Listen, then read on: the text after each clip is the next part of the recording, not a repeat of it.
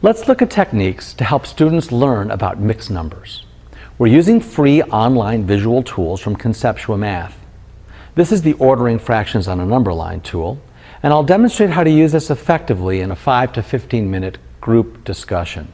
Let's see how I have things set up.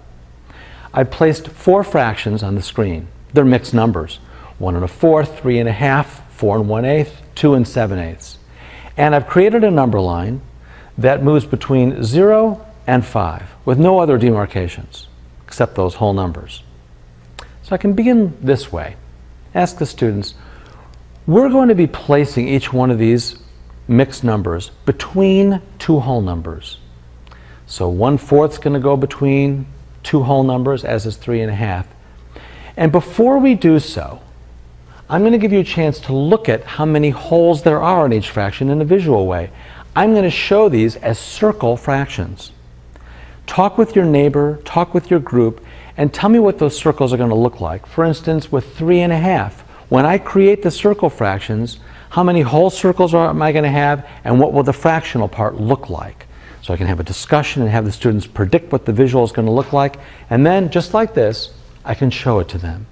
Yes, in fact, three and a half is three wholes in one half. There's a one-to-one -one relationship between that visual presentation and the numeric representation. Now we begin the placement on the number line.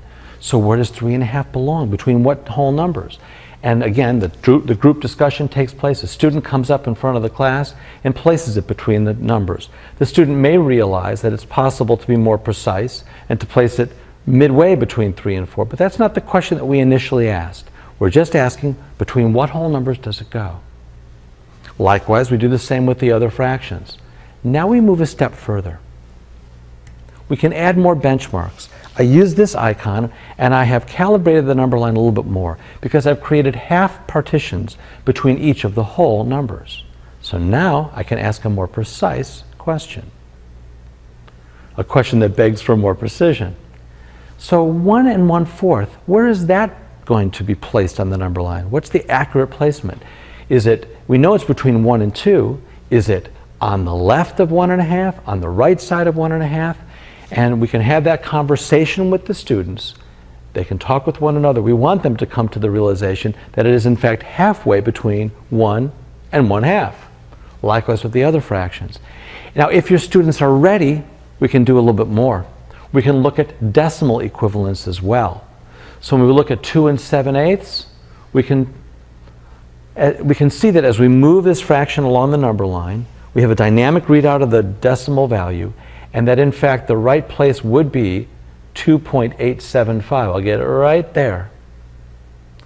So this is how we can use this tool set to help students understand mixed numbers.